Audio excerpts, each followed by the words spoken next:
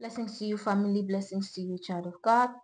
This is God's Word Related and I welcome you in Jesus' name. If you are a returning viewer or a constant viewer, I pray that the Lord bless you. As you follow His Word and you believe, let it be manifested in your life in Jesus' name.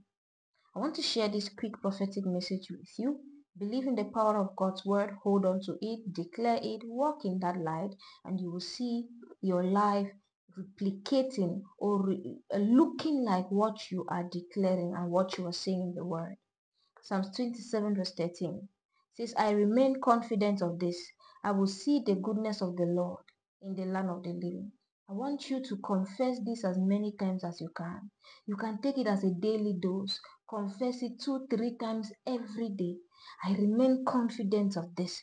I will see the goodness of the Lord in the land of the. I will see the goodness of the Lord in the land of the living. And God's word will come to pass in your life in Jesus' name. Shalom.